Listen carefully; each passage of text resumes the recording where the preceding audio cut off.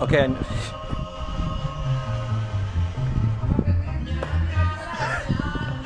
Okay, I know this isn't your typical Sunday, uh, as I am somewhere different, but I needed a microwave for this week's show, and I don't own one. Let's just say I'm not going to do a whole lot of talking, because as you can hear, there's some background noise right now. The neighbors are having a party. Uh, this is Sunday show, and it's basically just going to show you exactly what you need to know to cook the simplest and best tasting fudge you'll ever taste. So anyway, enjoy.